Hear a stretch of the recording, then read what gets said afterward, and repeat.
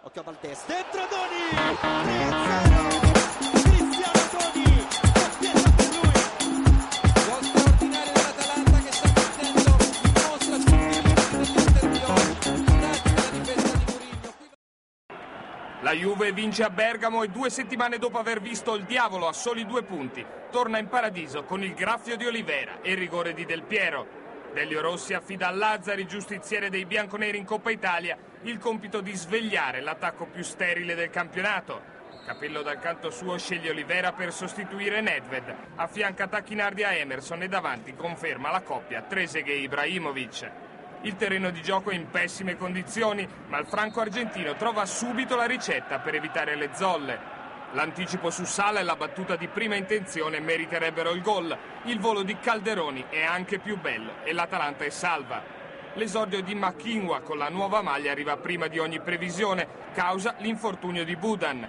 Per il vantaggio bianconero invece bisogna attendere il ventitreesimo. Motta e Sala perdono di vista i compagni di reparto. Emerson scatena Olivera in perfetta solitudine e sull'uscita forse affrettata di Calderoni all'uruguaiano basta un tocco per mettere il terzo sigillo stagionale. La gara dei padroni di casa è in salita e nove minuti più tardi potrebbe diventare un incubo. Camoranesi pennella sul secondo palo, Trezeguet ruba il tempo a Natali ma perde quello dello stacco e alza troppo la conclusione.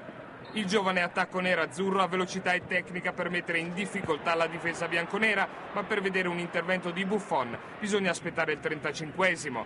Lazzari è in agguato sul calcio di punizione di Bernardini, ma il portiere juventino nasconde la latitanza dei compagni.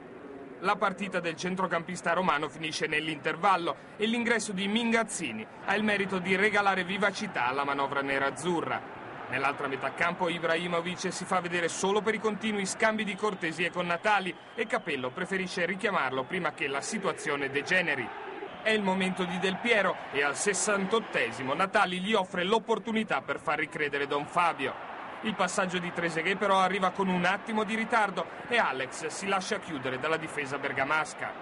Tre giri d'orologio e una splendida iniziativa sulla destra di Zebinà sbilancia la difesa nerazzurra.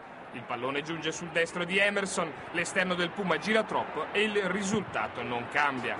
L'Atalanta butta in campo voglia e cuore, ma la generosità dei ragazzi di Rossi non può nascondere limiti offensivi che Machinua e Lazzari non bastano a coprire. L'ultimo tassello di un puzzle senza sorprese lo mette l'ingenuità di Motta.